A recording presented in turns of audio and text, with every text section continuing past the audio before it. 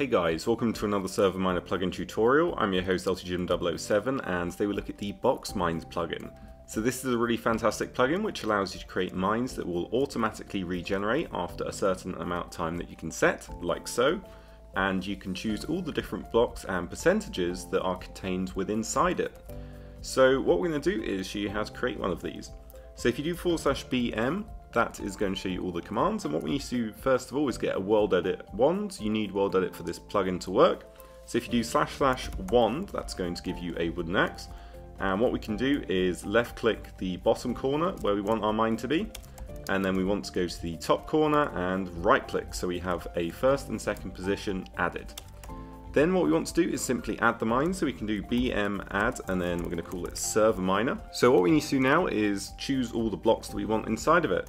So we can do forward slash bm set and server miner, and then we can go ahead and choose some blocks. Let's do an emerald block for 50%, and I'm just going to do a couple more over here real quick. So there we go, I've added three different blocks, and now that we've done that, we can do a couple more commands. So there is the bm tp and then server miner if you ever lose it there is the bm list command, which lists all of them.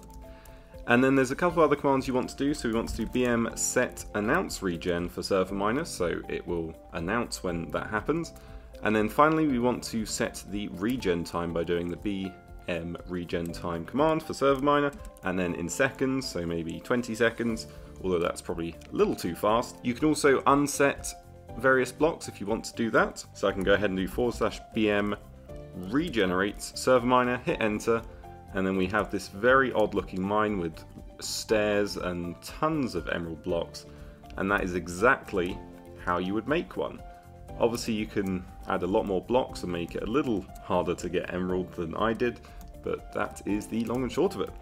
Finally, you can do BM reload if you've changed anything in the config file. So here we are in the SM control panel. If I go into the config, this is going to save all the information about the mines we've created, so the positions, the blocks, the percentages, and all of the mines. So here's the one we just made, server miner. So if you wanted to, you could change the blocks and percentages and add more and change the regen interval. Uh, but apart from that, that's all you can configure in there.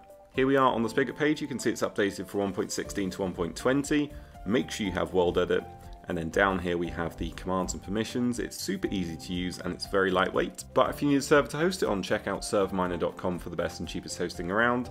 That's it for me. Subscribe, like, comment, and I'll see you next time.